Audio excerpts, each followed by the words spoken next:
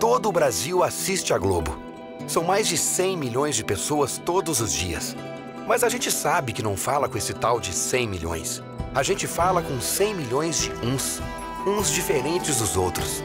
Uns se emocionam, uns se informam, uns gostam da gente, uns dizem que não.